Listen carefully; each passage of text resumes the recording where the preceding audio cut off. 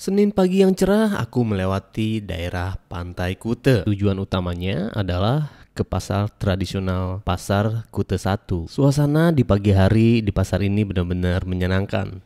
Hiruk pikuk penjual dan kendaraan yang berlalu lalang membuat suasana yang menyenangkan. Rindu ini sudah mulai terobati.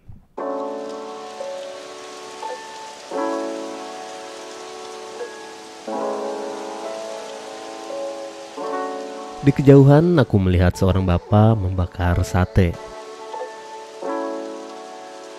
Setelah aku dekati, ternyata si bapak membakar sate lilit khas Bali dan juga sate babi.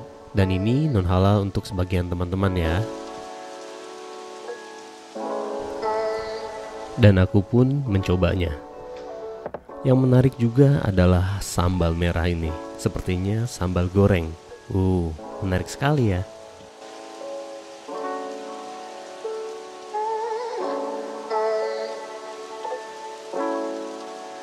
Si bapak menjelaskan bahwa sate lilit ini terbuat dari daging ayam dan daging ikan.